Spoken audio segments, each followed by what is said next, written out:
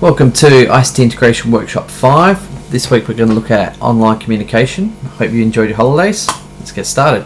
So we're going to be covering uh, basic communication practice, the teaching triangle, how to communicate in cyber safety, and then I'll be going over GetBusi, Second Life, and how to mail merge. Now, the teaching triangle was basically a student can learn on their own. However, without the support of the teachers or the, the teachers helping them, they're, they're going to have difficulties learning. And without the students working, the teachers are going to have trouble teaching. You can lead a student to their work, but you can't force them to write. Parent support is the third wedge of the triangle, and without the students trying to learn, the teachers trying to teach, and the parents being supportive, you're not going to get the best out of the student. So you actually need all three on board, and so it's important to maintain good communication. One of the most important things you can do in your teaching practice is contact your parents within the first two weeks of school.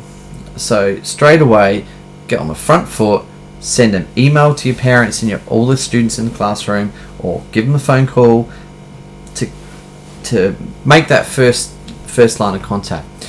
Because if you actually ring up and say, "Hi, I'm Jarrod Johnson. I'm your teacher for or your student's teacher for science. Um, so far, we've covered this. Uh, seems to be settling in well." And keep it to a couple of minute phone call, but it's just a touch base. That means that every phone call after that, you, when the parent answers the phone, they recognise who you are, and you, you can go, "Look, little Johnny's not doing work in class, or little Johnny's not doing his homework, or little Johnny's doing really well on his science assignments." So you've broken down that communication. Also, keep a record of your communication. So when you speak to a parent, write write the brief notes down so you can keep it together. And if a parent says, "Look, we would we discussed we're going to do that," you say, "Hang on, no, we didn't," or "Yes, you're right, and I need to follow this up." Uh, next thing is setting up class emails. Um, just going to switch, and I'll get over to these other things as well. I'm just going to switch to our email. So the uni email has gone from webmail now to Outlook, so they'll look slightly different either way. What you can do is set up an address book and put all your students' emails, or especially all your parent emails, together into the address book. Um, this means you can send one group email, makes it easy, and um, rather than have to type it out each time. The other thing is when you send emails to parents, put it don't put it in the to field. You can put your own email there, jarrod.johnson, whatever. Um, put it in the BCC. So BCC means blind carbon copy, and you're going to send your emails to say your your three parents in your class if, if you've got that few. Uh, but each parent will get an email individually, and it won't have any of the other parents listed there. So this means that you, you maintain the privacy of each parent.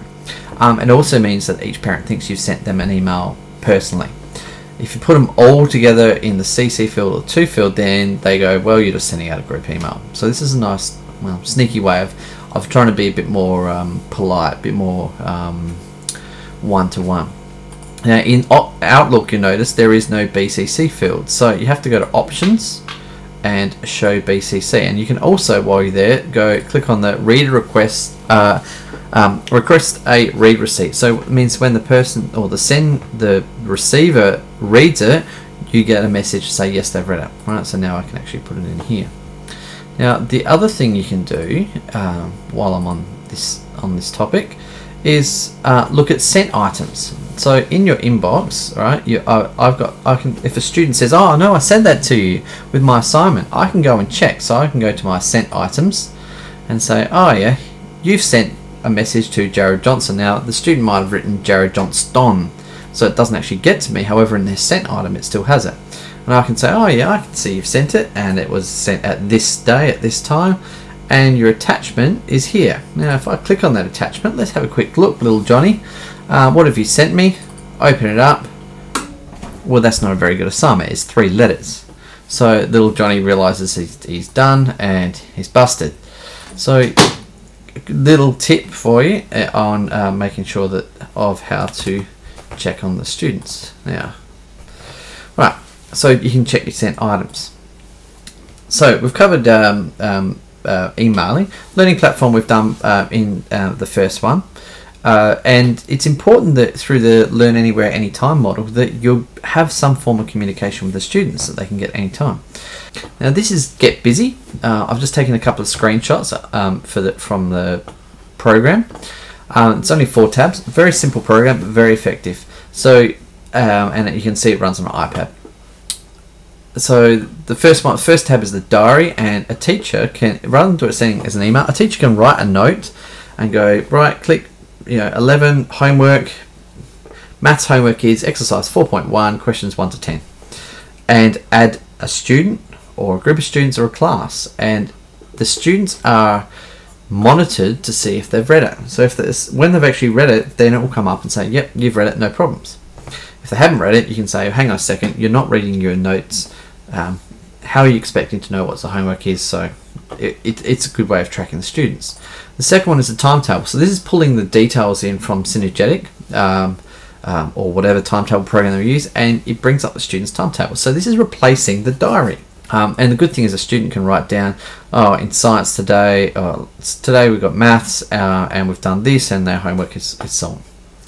Um, the next, this field, the today field, so you can see here we're talking about maths, so the student can see their stuff from today and also get their morning notices or bulletin, um, and this is derived straight from the school uh, blog or whatever.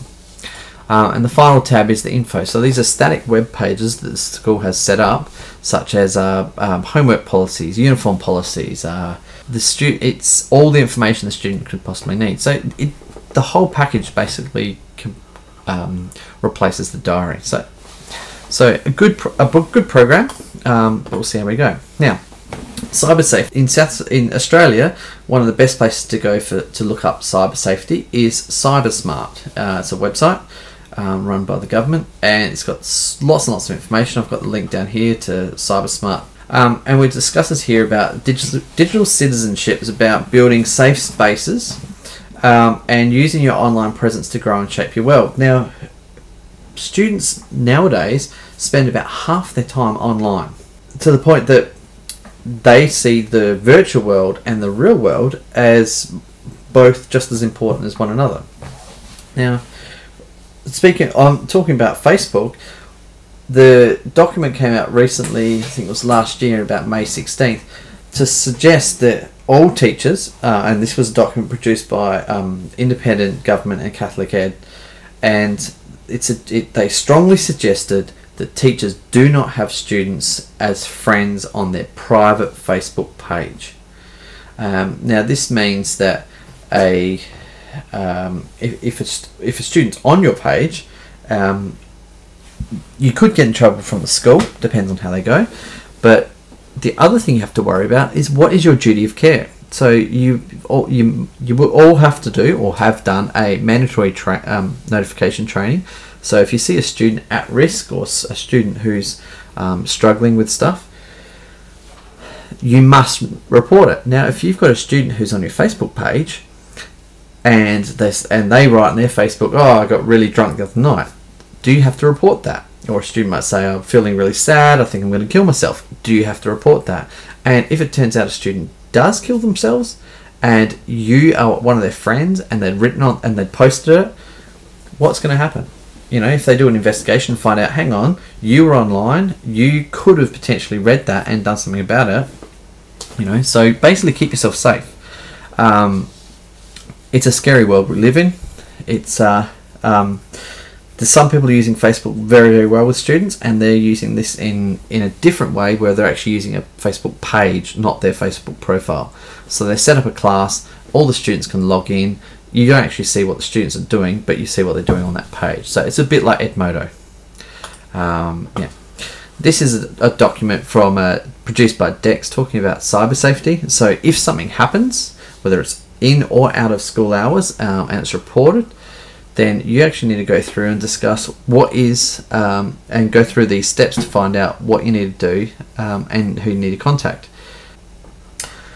Next thing is Second Life. So Second Life is an online virtual world uh, and basically takes the classroom online. I've got some photos here. This is an example of a um, Second Life. So this is my avatar here and I can walk around this world. Uh, I've just taken screenshots because so so my computer doesn't run too slow. But this is an example of a Mayan uh, world that someone's built. So you can see here, this is the ball um, game that they play in Mine Things. These are um, uh, basically a screen that, has YouTube videos that run on it. Uh, and you can pick up these balls and throw them through the hoop and so on. And this is a I always forget an orrery, which is the the sky sky labs of the Mayan calendar and explaining how it all works. Now it's very easy to uh, imagine that students students struggle with some of the concepts to do with uh, the Mayan calendars and sky and everything. But if the student can log on and actually interact with the stuff, um, it's a really great tool. So that's Second Life. Now, lastly, we're going to look at a mail merge. So mail merge is a really powerful tool. Um, uh, you may have used it or may have seen it. Um, basically, it integrates an Excel spreadsheet and Word. And the best thing I can su- suggest is use a mail merge, merge wizard. So uh, I've got a couple of students here. Here are their marks, which I've been I've been keeping. They haven't done the exam and I might have here come on their work for the semester so I just want to average this so equals average I click on average and I just want to average these things here and then I want to grab the bottom corner and fill down so now it's taking average of their marks and if I put in their exams as well so um, Jarrod Johnson didn't do very well in his exam, he got 72%. You can see that it's automatically calculating. So now I can actually go and tell each of those students what they got, or I'm just going to save that. What I can do is I can open up a Word document, go to, now this is using a, a the Mac version of Word, but it's going to be pretty much the same. And I want it to be a form letter. Get the list, open data, and I navigate to where I've where I've been keeping my document, my um, my data. Open up the sheet that's in, and you can see here it's come up with the different things. So I'll say uh, hi, and you might remember first name, last name, right, and that's actually taken from all the headings across the top uh, your marks for the year, for the semester. Ah, let's just put in a task result. So first task was uh, the discussion. And I'm just tabbing across now, then an essay, then a practical, then their exam, and final result. All I do is I just go discussion, essay, practical, exam, semester. Now, it looks messy. If I actually look down here at ABC, the ABC, it actually shows me my results. So there's, hi Jarrod Johnson, let's go to the next person, Steve Dutko, and here's his results. In fact, you know what? Let's make this bold. Okay. And guess what? It's bold from them all. Okay. So there's our four people. I've done particularly badly. Um, and then what I can do is I can actually merge this to the printer or merge it to a new document or merge it to an email. So because I actually had the email set up uh, as one of the fields, it would actually email and send that document straight to the student. Great way of actually submitting all their results and giving them, and giving them feedback. You want really good feedback for the students. The quicker the feedback, the better the students generally do. Our discussion board this week. Uh, I've got here, you may have students on your Facebook or communication media. Do you have a digital duty of care for the students that are on your Facebook? So that'll be first task. Second one is GetBusi. Can, so I'm just looking at GetBusi can potentially convert schools to electronic diaries. And what do you see as the benefits and limitations of this type of product? So whether it's GetBusi or electronic diaries or whatever, is this good? Is this bad? What are the problems? What are the benefits? Um, and with more and more time spent online, should learning in your classroom area be limited to the walls of the classroom? You've got learning platforms, you've got Second Life, you've got many, many different things. Um, does your learning happen in the room or should it be everywhere?